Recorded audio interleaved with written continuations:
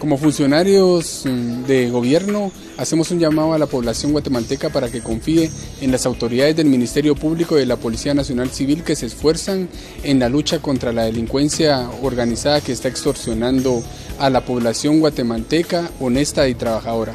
En ese sentido, le hacemos un llamado para que utilice la línea 1574, donde personal policial les estará atendiendo y le dará un seguimiento respectivo a sus denuncias a efecto de dar con la captura de los extorsionistas.